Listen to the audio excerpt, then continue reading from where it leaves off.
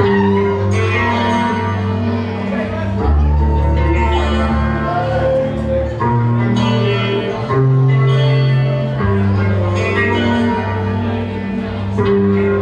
can feel it in my bones.